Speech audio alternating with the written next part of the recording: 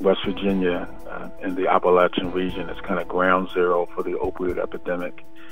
And this whole initiative is set up to address the intersection between IV drug use through the opioid epidemic and transmission of hepatitis C.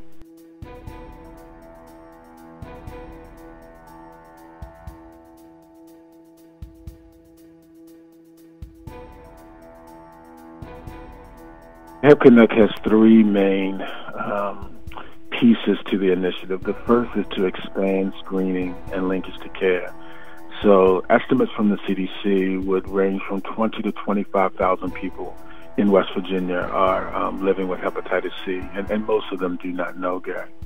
The second thing we want to do is support harm reduction um, and community education um, with local stakeholders um, there has to be so much education. There's so much stigma for people who are dealing with IV drug use, and also stigma for families who love people who are dealing with that. So we, we have to address it because of the large proportion of people who are um, living with hepatitis C and do not know.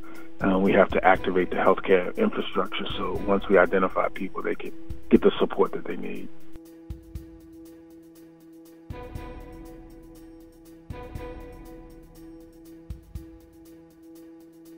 Um, people can get information about this initiative on hepconnect.com. Um, we're excited about the launch. We're excited about partnering with the community. Um, and this is impacting so many people, our neighbors, um, our family members, and people are suffering in silence. And we want to bring some uh, dignity and some support to make a difference so people can live well.